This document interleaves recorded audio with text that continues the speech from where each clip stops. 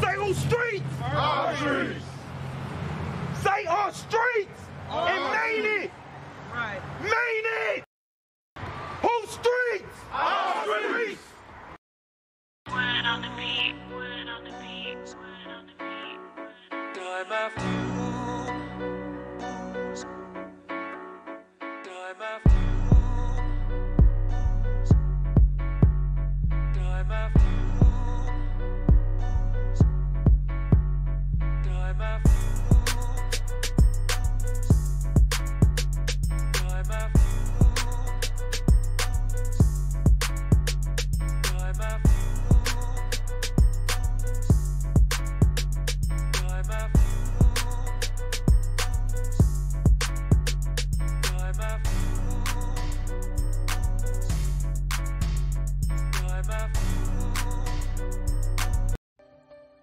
What up, what up, what up? It's your boy Bass, and y'all tuned in to another episode of Ends Podcast.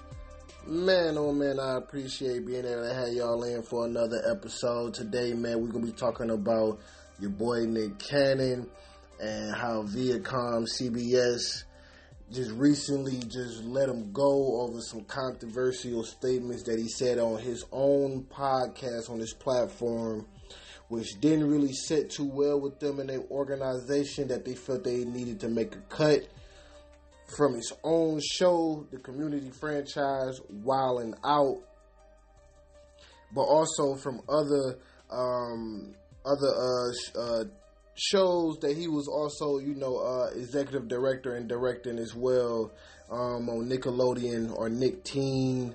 Um, but Fox Fox said that they're standing behind him. Now, going a little bit more into the whole situation, it kind of been you feel me trending news for um for basically uh it just been the trending news for like the last few days uh since the recent comments had surfaced about how they felt about um basically his response to well not his response but his statement and since then them releasing a response saying that he did not want to apologize at first and because of him and not apologizing it costed him um, basically his job his company the, brand that he didn't build now before that i didn't actually know uh, what type of deal or structure he had with Wildin' Out um, but you know, he was hosting. You know, he hosted shows like America Got Talent, Lip Sync Battle Shorties, The Masked Singer.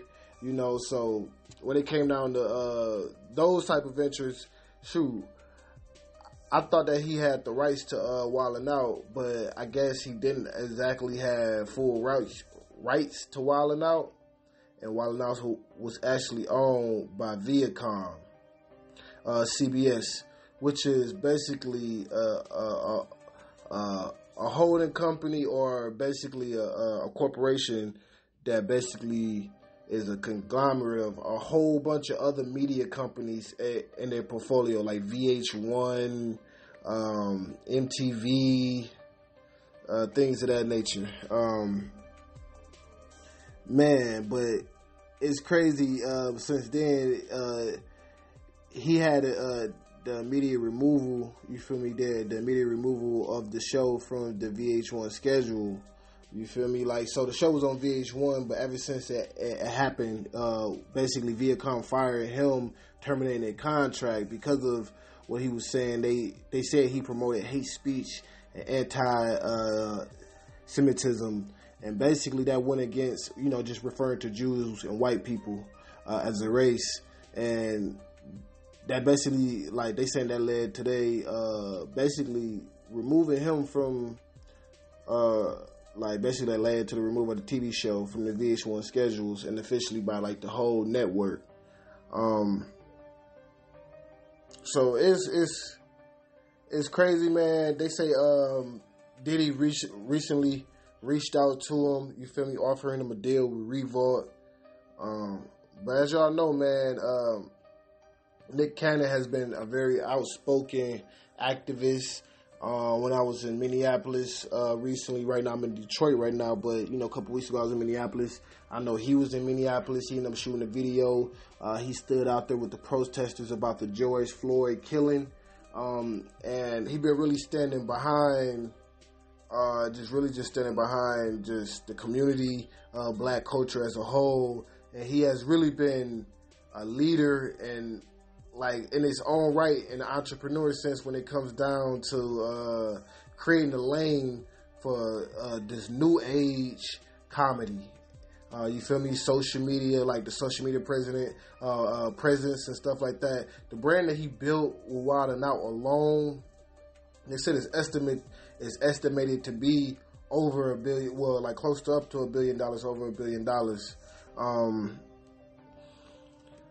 but just knowing just the time that he put into building Wilding Out and building that brand up, and the work that Nick Cannon been putting in just in on the entertainment side and just with Hollywood, um, it was crazy that they let him go so easy.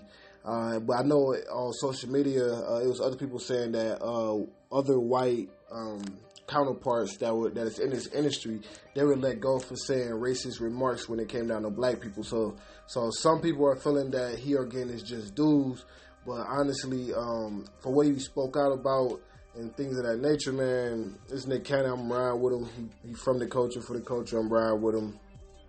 Um, not saying that I'm, you know, I'm not promoting hatred or anything, nothing like that but it's just more so saying that um, basically that they demanded an apology uh, from him, and because him not doing the apology, he got fired. Um, so now it's so so now it's kind of like it's in the air. It's been out. You starting to see more people starting to speak out about it. Uh,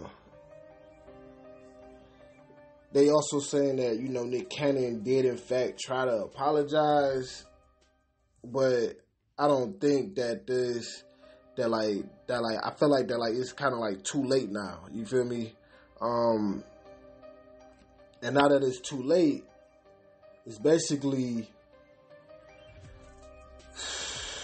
man, it, it's it's creating a like an uproar because some people feel like he shouldn't went out his way, that he should have just stood on with what he said and just basically uh and basically just um just stood behind what he said because he got individuals that's uh, that's supporting him and even offer him um, alternative routes.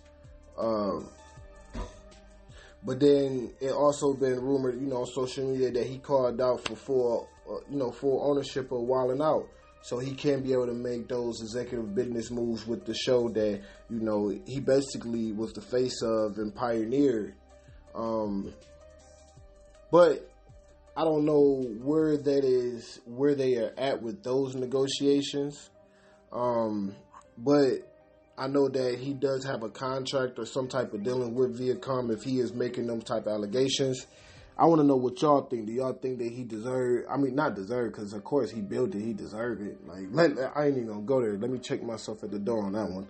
Um, but more so, uh, like, how do y'all feel about the whole apology? Honestly, I feel like you know, as a man, you feel me. If he felt as, as if he was wrong and he should apologize, that's on him. At, at the end of the day, he the one that got to sleep with his decisions at night. Um, as far as when it came down to his him and his company and the business aspect of it, yeah, I, I feel like if get that man his company, you feel me? Y'all don't, y'all don't necessarily have to blackball a man or anything like that. Not accusing them of blackballing him or not saying that they're going to blackball him, but just saying, just in general, uh, if y'all want to cut complete ties with him, uh, y'all could just go ahead and cut complete ties with him and let him get um, ownership or either you know ownership of his uh you know full ownership of his company. But in a business sense that i understand that there does have to be a trade in value. So i feel like they can come to some type of agreement even if there is a buyback. Because you know in stock market companies do buyback of shares all the time. So if they allow him to buy back his shares in some type of agreement like all right well we'll cut ties with you and give you back your shares you feel me and walk away clean and allow that man to you know finish finish building what he had started You feel me? Because it, it's bigger than just him. Uh, that's a big, a big key, uh, key in the black culture in the black community. And a lot of these uh, corporations, they take an oath uh, to basically say that they're going to assist and and basically help innovate and bring about uh, new technology products and services that can you know better advance our cultures and communities. Uh, and shoot, Nick Cannon did that, man. So let that man go, let that man be, and let him, you know, take full ownership if that's the route he's want to take. Now they are saying there are accusations saying that he is trying to, um, you know, go back to Viacom CBS and try to, you know, um, re reconcile their relationship. And if that is the case, you know, uh, that's between them two parties. Um, man, but that's currently what's going on in the media with Nick Cannon, man. And he recently just lost a friend, you know, so I know he's going through a lot of stress and just a lot of just he just got a lot of a lot of spotlight, a lot of you know, just a lot of energy on him.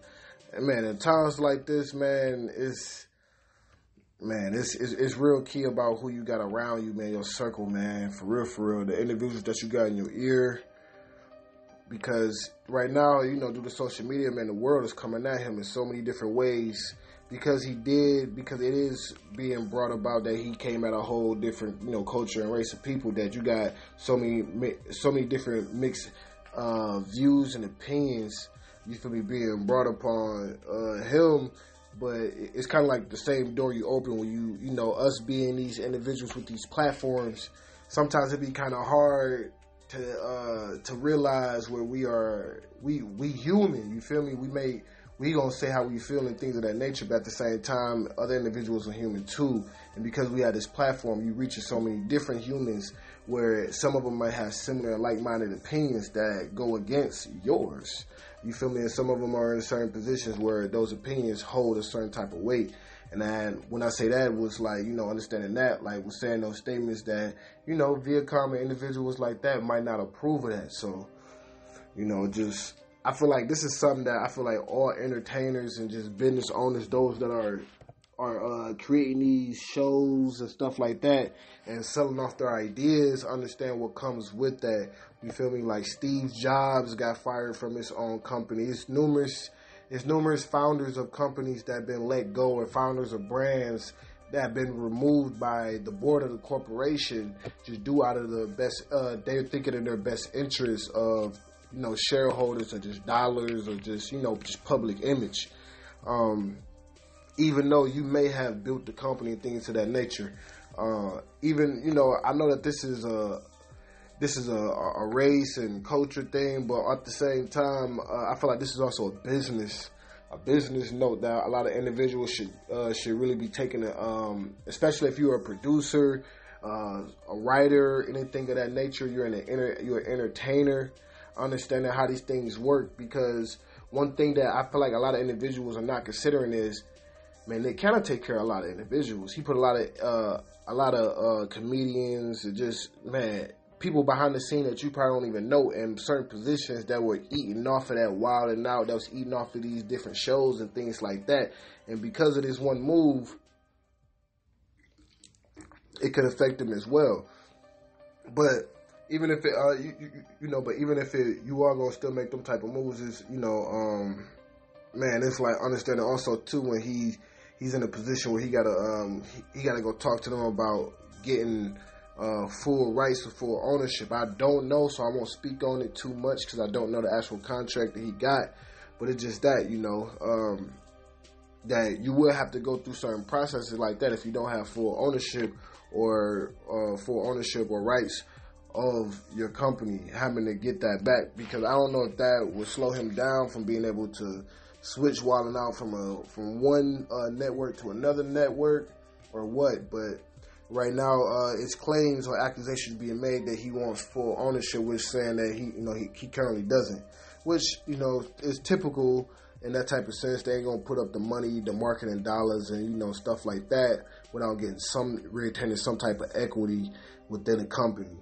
But if it was enough equity for them to control the decision making, um, you know, like basically like, like decision making power, you feel me? That's what was like, you know, like dang, you feel me? I, I wish she could have, you know, kept control of that, where she is still control of you know, like basically, like he still got you know control of the decision making, like operations of the company. Well, operation decisions type deal of the company. So you know, but that's neither here nor there. I want to get y'all opinion, man. How y'all feel about the whole Nick Cannon situation, man? Do y'all feel like he should apologize or shouldn't apologize? Uh, do y'all feel like you feel me? He deserves to have full control of Wildin' Out. I just want to know what y'all opinion is. It's your boy Bash. Y'all tuning the Ends podcast. But before we tune out, man, go ahead, like, share, subscribe. That's the free support that you can do. But we trying to open up this store. We need y'all support, baby. So if y'all could go ahead and become a patron, you know, a paid member to the uh, podcast, or y'all can shop with us against some physical return. When you become a patron, too, with certain levels, you get free services and free merch sent to you monthly. I'm talking about sunglasses, shirts, hats, man, book bags, stickers, decals for your cars. But if you ain't even looking for all that, you ain't trying to do no month to month or nothing like that, man. You want to buy a shirt or something, man, to show your support. Go to www.eatingd. I mean the letter N D A S T R E E T S dot com. It's eatinginthestreets dot com. www dot at the beginning. Can't forget that Bass part, baby. But it's your boy Bass. I'm tuning out. Appreciate y'all for tuning in. And don't forget to sign up and become a paid member and a patron, man. We need all that. Like I said, we about to become uh, a store owner, man. We're going to stand on that, man. Before this year over with, uh, by this time next summer, man, we're going to have a full thriving store where you're going to be able to come shop with us, man. Come stop in and come visit us in Detroit, man. But it's your boy Bass. Thank y'all for tuning in. Like I said, I'm tuning out.